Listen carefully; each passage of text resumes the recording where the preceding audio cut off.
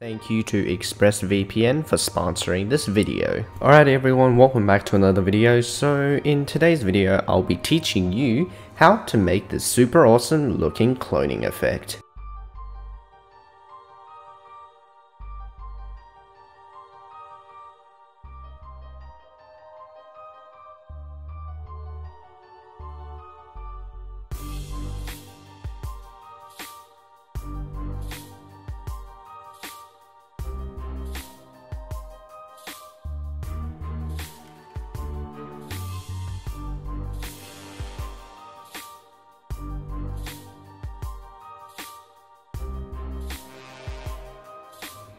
All you need is literally a tripod and a camera. It can be a phone and a phone tripod, but an actual mirrorless or a DSLR or even a red camera would definitely have a better quality. Please like and subscribe to my channel for more content like this. Anyways, let's stop talking and let's actually go ahead and make this effect. Sit back, relax, and enjoy the video. Now the first step would be to set up your camera. Make sure you have decent lighting and that your ISO settings and focus are correct then you can just get your actor to do their performance, but keep in mind, shoot in one single take, because if you shoot twice, you run the risk of moving your camera, which will then affect the end result. Alrighty everyone, now that you're in Adobe Premiere Pro, all you gotta do is create a new project, and today I'm just gonna call it the cl clock cloning test um, number two, because I also did a cloning test before. Alright, so before I go on with this video, I need to say something, and that is, um, I expect you to have a little bit of understanding about the program and Adobe Premiere Pro. So if you know nothing about it, click off this video and go watch my tutorial on how to edit a video in Adobe Premiere Pro. Uh, it's basically called The Basics to Adobe Premiere Pro. Anyways, getting that message out of the side, we can import some media, and that first media would be to go into my drive and import the video, which is right here. It's going to take a little time, and now what we can do is drag that onto the timeline. Now what we can do is right click and press unlink. We can delete the video, we can delete the audio and now what you want to do is to crop out and see when your actor goes into the frame. And that is right here. So what I can do is just cut this out, delete, and then drag this forward. Um, next step would be to see if it actually works. Alright, yep, it definitely works. Now what you want to do is just find when your actor gets out of frame. And that would be right here. Right, now what we can do is just skip forward to when the, your actor goes um, out of the shot. Um, so right here, and then we can just see when he goes back in, which is in this case me. Right, I go back in right here, so let me cut this out. Let me, and let me drag this video on top of the other one over here. Now, you see there is two different lengths. One of them is longer and one of them is shorter. So you want to drag the um, longer one on the bottom and then the shorter one on the top. Alright, now what we can do is um, we can see that our actor is me, my bad. Your actor is um, on this on video number 2, which is the one on top of video number 1. Now if we just disable the view of that one, we can see that our actor now is on this side. So technically all you gotta do is just make sure they don't come in contact with each other and that would be basically the main rule.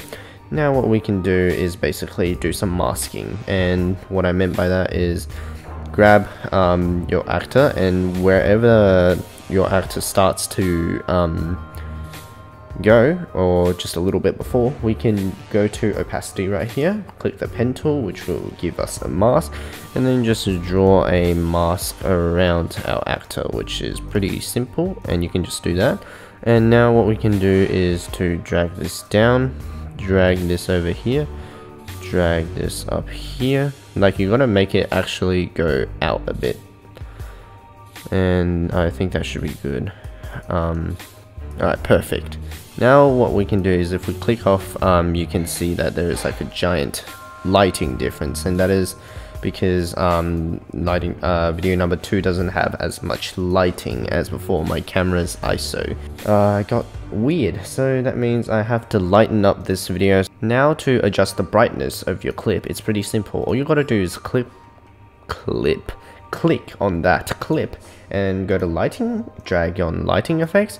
Now you'll see this become red, which um, in my old video I mentioned it's going to lag out on you. So I'm not going to render it right now, but I will later on. So what you want to do is click light one, um, like the arrow, uh, put this into directional so then it actually covers the whole screen and now you can see this is way too bright so what we can do is come down into intensity and then just um, drag um, until the lighting is similar which is right now and there you go I just brightened up the left clip to match with the right clip and now what we can do is go back into video um, layer 2, which is the one where I actually did the mask. What you want to do is just click the mask and uh, in mask feather, just give it a give it a good feather. And then now you can see that um, I've literally cloned myself. Now what we can do is basically go into sequence and render into out so then we get a smooth playback. While this is rendering, let's take the time to thank our sponsor, ExpressVPN. ExpressVPN is a high-speed, secure, and anonymous VPN. What's a VPN, you might be wondering? Sending data over unencrypted internet connection is literally sending a postcard. Your message is wide open for the mailman and any nosy people to see. Wherever you're on a connected to an unencrypted internet network on your phone, computer, tablet, TV, etc., you're sending countless of pieces of information out into the digital world that can be seen and intercepted by many different parties before they get to their intended destination. But with a VPN, or a virtual private network, it creates a secure tunnel between your device and the internet. In other words, it puts an envelope around your postcard so that no one can take a sneak peek at your private correspondence. Every time you are connected to an unencrypted Wi-Fi network at airports, hotels, coffee shops, or even at home, you're at risk. A hacker connected to the same unencrypted Wi-Fi network can steal your private information. With only the basics of computer knowledge, the hacker could gain access to your passwords, financial details, or even your emails. ExpressVPN can encrypt your internet connection using the highest standards of encryption currently available. It would take a hacker with a supercomputer with billions of years to crack. ExpressVPN also protects you from spies who use your data for their own reasons. Your internet service provider, aka your ISP, can see everything you do. US ISPs can legally sell your data to ad companies. UK and Australian ISPs are required to keep log of the websites you visit, the apps you use, and the private conversations you had for one to two years. Governments, large corporations, and websites constantly surveil you and harvest your data for their own agendas. ExpressVPN puts a stop to that by encrypting all your data and hiding your location. Now the best thing I like is content unblocking. ExpressVPN gives you unrestricted access to all parts of the internet. Many websites or apps are blocked depending on where you are in the world. Certainly, countries even censor the internet and don't let you access all websites freely. Think of a YouTube video you aren't able to watch, a website you can't visit, or a sports match you are unable to stream. What about the stuff that's cheaper in other countries like Spotify subscriptions, flight tickets, and online games? ExpressVPN allows you to reroute your connection to a server in a country of your choice, making geo restrictions a thing of the past. In the world we live in, there are many VPNs, but what makes ExpressVPN the best? Faster speeds. ExpressVPN invests in only premium service, making them consistently faster than other VPN provider. 24-7 customer support. Live chat means your questions will be answered within seconds, not hours. Ease of use. Fire up the app and connect with just one click. Trusted server technology. It's physically impossible for any of the ExpressVPN servers to store logs of any customers top rated VPN provider. They are rated the top by TechRadar, CNET, The Verge, Comparitech, and many more. Find out how you can get 3 months for free by clicking the link in the description below. Now let's get back into making this awesome effect. Alrighty everyone, now we have rendered down the file and look at that. We finally did it, but there's still more to it. But I just want to say uh, I could have done a better job. I could have done a better job with the camera because uh, sometimes the lighting was just too bad and I still needed to adjust which still made it very very unnatural and also sometimes the camera shook so that's also another problem to work on and now you see there's a long clip and a short clip and if you just saw what happened once this clip ends which is this one over here by the way uh, that happens if I just do that you see over here it kind of just clips back um, because there are two frames. Uh, what we can do is um, you can, if you're lazy, you can just keep it as is, but that would basically give the whole thing away. But or if you're some guy like me and like to refine things to the last of details, then what you can do is come to the last frame, right click, and all you gotta do is press add frame hold. Now as you can see we have to render the file again but I mean it still looks good trust me. What you want to do is to now drag this thing to the end and now the end becomes needing to render. So technically I'm gonna render this again and I'm gonna show you what it looks like Alrighty everyone, the end didn't actually take too long to render which is a good thing. Now if we play it back we can see the right of the clip stays like that and it doesn't have like a chopping back effect.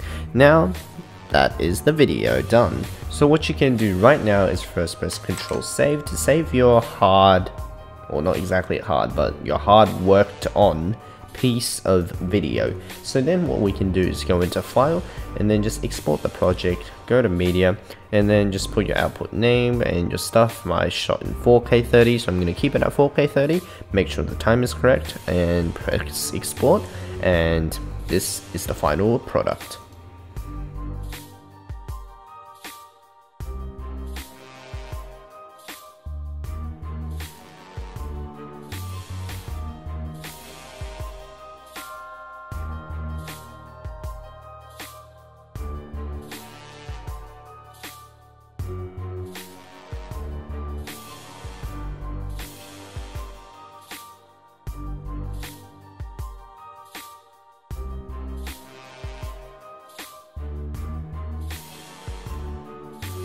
Alright everyone, thank you for watching this video and I hope you guys enjoyed the video.